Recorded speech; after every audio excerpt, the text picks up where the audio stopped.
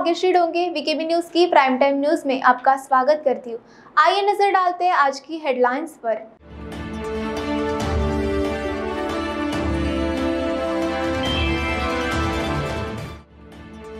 चंद्रपुर में सुधीर मुनगंटीवार के समर्थकों में खुशी की लहर, समर्थकों ने बारिश में मनाया उत्सव।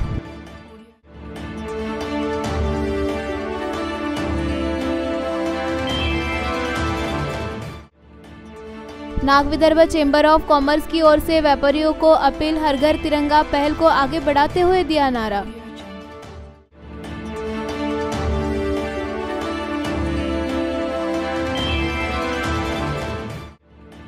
और नागपुर विश्वविद्यालय द्वारा शिक्षा शुल्क में 20 प्रतिशत की वृद्धि नागरिकों द्वारा उठाया जा रहा है सवाल।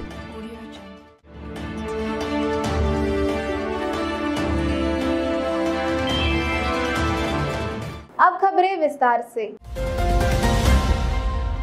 चंद्रपुर में भाजपा के वरिष्ठ नेता सुधीर मुनगंटीवार ने मंत्री पद की शपथ लेने के बाद उनके समर्थकों ने उत्सव मनाया।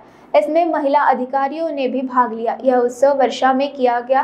तीसरी बार मंत्री के रूप में शपथ लेने वाले मुनगंटीवार ने उन्नीस सौ पंचानवे में पहली गठबंधन सरकार में पर्यटन और 2014 में वित्त और वन का प्रभार संभाला। पूर्व महापौर राखी कंचरलावर ने उम्मीद जताई कि ज़िले का विकास तेज़ी से होगा क्योंकि वह अब तीसरी बार मंत्री के रूप में बैठे हैं।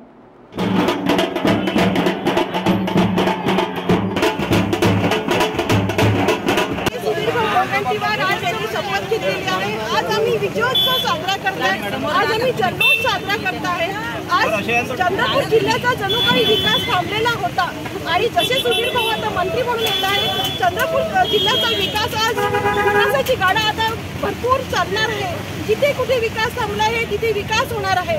चंद्रपूरचे कामं प्रारंभित होते. हॉस्पिटल प्रलंबित होते. आता त्यांची सुरुवात होणार आहे. आणि आज चंद्रपूर जिल्ह्याचा एकदम आनंदाचा दिवस आहे. म्हणून आज आम्ही जल्लोत्सव साजरा करतोय. नागपुर के पांचपावली पुलिस थाना अंतर्गत हत्या चोरी जबरन चोरी डकैती रंगदरी जैसे गंभीर अपराध में सदाम खान अज़ीज़ खान यह आरोपी फरार था। पुलिस को मिली गुप्त जानकारी के अनुसार वह मोहरम के मौके पर अपने घर आया था। इस जानकारी के आधार पर पुलिस ने आरोपी को गिरफ़्तार कर लिया है और आगे की जाँच पुलिस द्वारा की जा रही है। पांचपावली पुलिस थाना अंतर्गत 7 अगस्त की शाम करीब साढ़े पाँच बजे जाँच दल के निरीक्षक गगन यादव और ईमान खान को एक गोपनीय मुखबिर के माध्यम से सूचना मिली कि 27 वर्षीय कुख्यात फराद आरोपी सद्दाम खान, अज़ीज़ खान मोहरम के मौके पर उनके आवास पर आया है। ऐसी सूचना मिलने के तुरंत बाद पांचपावली की जाँच टीम ने आरोपी की तलाश की तो आरोपी घर की तीसरी मंजिल से कूदकर फरार हो गया। तभी जाँच टीम ने उसका पीछा किया और उसे पकड़ लिया। आरोपी के खिलाफ नागपुर शहर में हत्या, चोरी, जबरन चोरी डकैती रंगदारी जैसे गंभीर अपराध दर्ज किए गए हैं। साथ ही इस बात की प्रबल संभावना है कि आरोपी ने फरार होने के दौरान भी अपराध किया है, इसलिए इस मामले में आगे की जाँच पुलिस कर रही है। आरोपी आहे सद्दाम खान, अज़ीज़ खान वय सत्तावीस राहणार मैदान लष्करी बाग। अपराध क्रमांक आठशे सदुसष्ट ऑब्लिक एकशे दोन, चाळीस, एकशे सत्तेचाळीस, एकशे अठ्ठेचाळीस, एकशे एकोणपन्नास ऑब्लिक चार पंच ऑब्लिक ॲट्रॉसिटी ॲक्टमध्ये तो जवळपास एक वर्षापासून फरार होता. आणि तो पोलीस स्टेशन सदर येथील तीनशे छप्पन अब्लिक एकवीस कलम तीनशे कलम तीनशे सात याच्यामध्ये सुद्धा तो आजपर्यंत फरारी आहे. त्याच्यावर नागपूर शहरामध्ये बऱ्याच चोरी जबरी चोरी दरोडा खंडणी असे नागपूर शहरामध्ये गुन्हे दाखल आहेत. आणि कुख्यात आहे.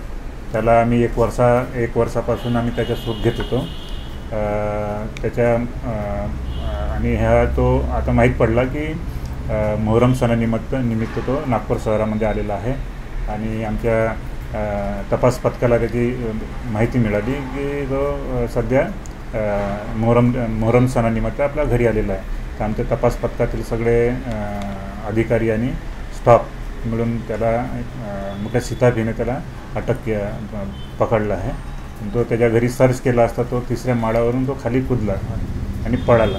हं. तर त्याच्यामागे लागून ते आमच्या एक इम्रान खान आहेत आमच्या पथकामधले इम्रान खान आणि त्याच्यासोबतचे स्टाफ यांनी त्याला अटक केली आहे.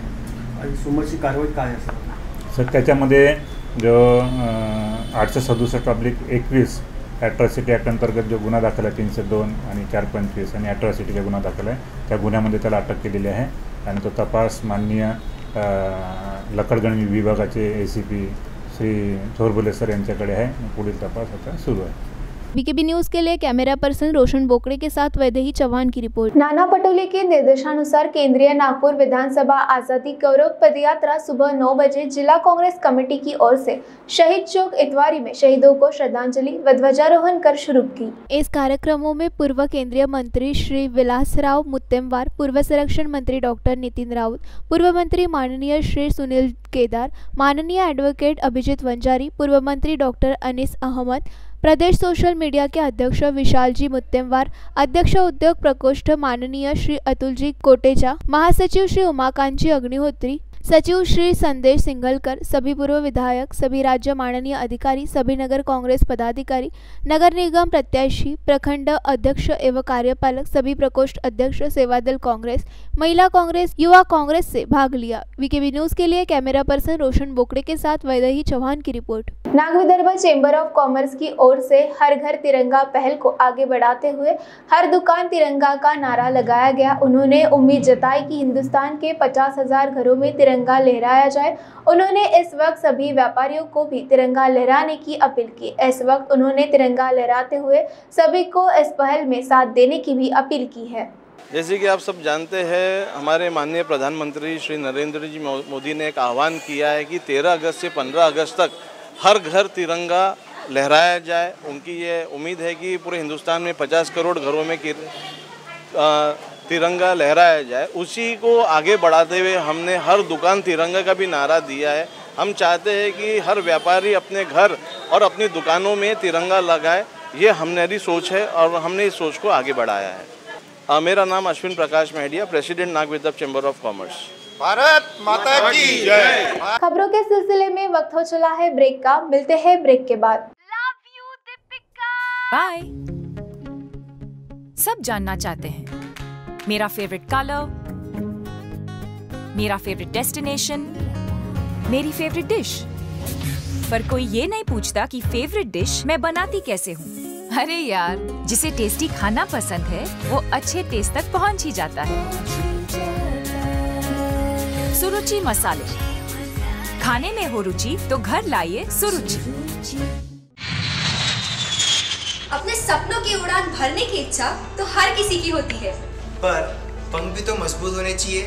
जो देता है Flywheel aviation academy Flywheel aviation academy एक ऐसा इंस्टीट्यूट है जहाँ पर एयरलाइंस एंड एयरपोर्ट हॉस्पिटैलिटी और टूरिज़्म मैनेजमेंट साथ ही यहाँ campus interview guidance by industry expert practical training at airport expert faculty personal grooming जैसे कई सारे बेनिफिट आप पा सकते हैं। Flywheel aviation academy one degree three job opportunities Flywheel aviation academy gives you a degree और diploma with a job Flywheel aviation academy 365 Gandhinagar LAD college square beside Karnataka bank Nagpur.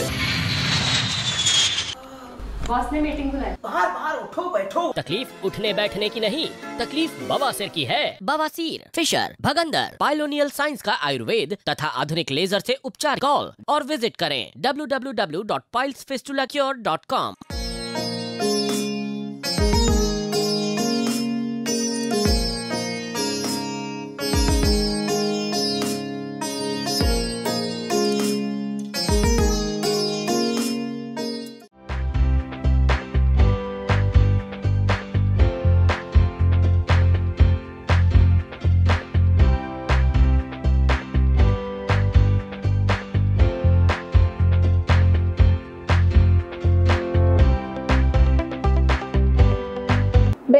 आप सभी का स्वागत। भारतीय स्वतंत्रता के 75 वर्ष पूरे होने के पृष्ठभूमि में हर घर तिरंगा पहल 13 से 15 अगस्त तक लागू की जाएगी। अनुमंडल पदाधिकारी वंदना सौरंगपते ने कहा कि हर घर तिरंगा पहल का उद्देश्य लोगों के मन में स्वतंत्रता संग्राम की स्मृति, स्वतंत्रता संग्राम के अज्ञात वीरों, क्रांतिकारों को याद करना, विभिन्न घटनाओं को याद करना है।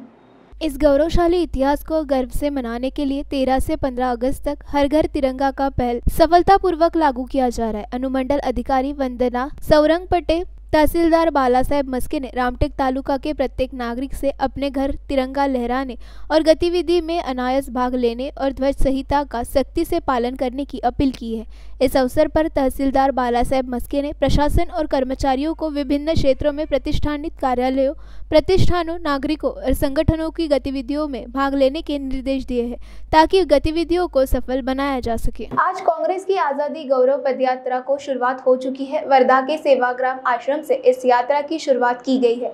इस वक्त कांग्रेस प्रदेश अध्यक्ष नाना पटोले, पूर्व मंत्री रंजीत कांबले, पूर्व मंत्री सुनील केदार, अभिजीत वंजारी, मुख्य प्रवक्ता अतुल लोंढे, सेवा दल के प्रदेश अध्यक्ष विलास औताड़े सहित बड़ी संख्या में कांग्रेस पदाधिकारियों और कार्यकर्ताओं ने भाग लिया।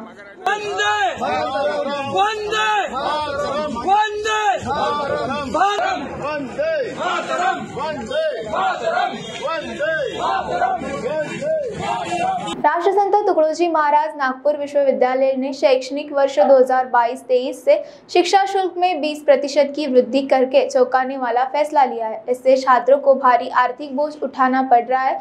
यह आदेश दिया गया है कि कॉलेज प्रवेश छात्रों से यह अतिरिक्त शुल्क वसूल के दिलचस्प बात यह है कि यह सवाल उठाया जा रहा है कि विश्वविद्यालय ने किस अधिकार के तहत शुल्क बढ़ाया, जबकि उनके पास 900 करोड़ रुपए जमा है। विश्वविद्यालय का यह फैसला तब आया है जब पारंपरिक पाठ्यक्रमों की प्रवेश प्रक्रिया अंतिम चरण में। शैक्षणिक सत्र 2022-23 के लिए 20 प्रतिशत की प्रत्यक्ष वृद्धि और शैक्षणिक सत्र 2023-24 के फ़ीस में एक और सात प्रतिशत की वृद्धि होगी। विश्वविद्यालय ने यह भी स्पष्ट किया है कि जिन कॉलेजों में छात्रों को प्रवेश दिया गया है, वे फिर से छात्रों से 20 प्रतिशत अतिरिक्त शुल्क वसूले। अब सहायता प्राप्त महाविद्यालयों में विज्ञान एवं गृह विज्ञान के स्नातकोत्तर पाठ्यक्रमों में प्रवेश के लिए अठारह रुपये ट्यूशन फ़ी और बारह रुपये प्रयोगशाला शुल्क देना होगा।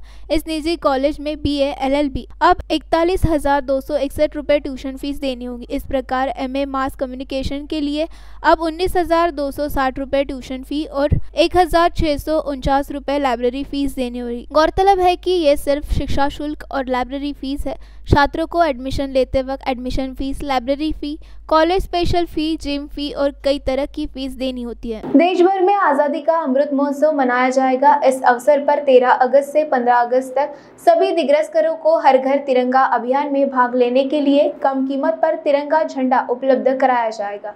इस उद्देश्य से दिग्रस नगर परिषद हॉल में तिरंगा झंडा बिक्री केंद्र और हर घर तिरंगा झंडा अभियान की जानकारी केंद्र का उद्घाटन तहसीलदार प्रवीण धानोरकर, समूह विकास अधिकारी रमेश खरोडे, नगर परिषद प्रमुख सुधाकर राठौड़ मजहर खान द्वारा किया गया।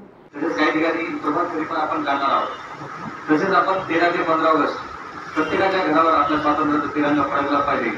हर घर तिरंगा, हर मन तिरंगा. ते पंधरा ऑगस्ट प्रत्येक तिरंगा फडकवणार आहोत. त्यासाठी ध्वज केंद्राचे उद्घाटन इथे झाले. मी आज जाहीर करतो.